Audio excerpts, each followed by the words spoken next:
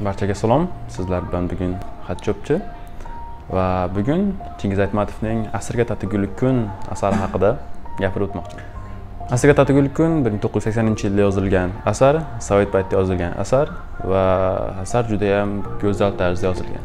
Chingiz aytmatov manimcha asarlarida aynan markaziy osiyodagi holat oddiy aholini yashash tarzi u yerdagi muammolar o'sha paytdagi tuzum haqida judayam chiroyli tasvirlab o'tilgan.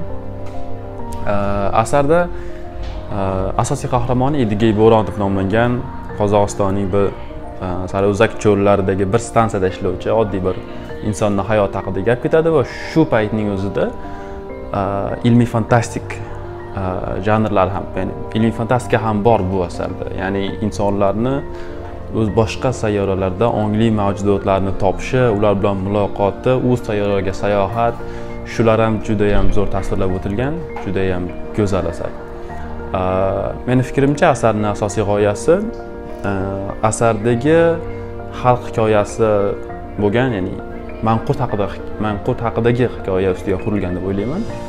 Menimcha ko'pchilik eshitgan bu hikoyani va xabardor va shuning uchun bundan bu asardan bir iqtibos bilan videomizni yakunlamoqchiman.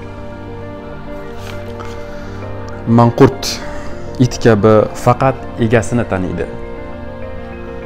Butun hayoli qorin to'yg'azishda shundan boshqa tashvishi yo'q. O'ziga topshirilgan ishni o'ylamay netmay muqarrar bajaradi. Ya'ni o'z fikriga ega bo'lmagan va faqatgina qorin g'amida yurgan unga kimki unga ovqat bersa faqat shunigina taniydigan va uni buyrug'ini muqarrar bajaradigan inson. Manqurt bo'lmaylik.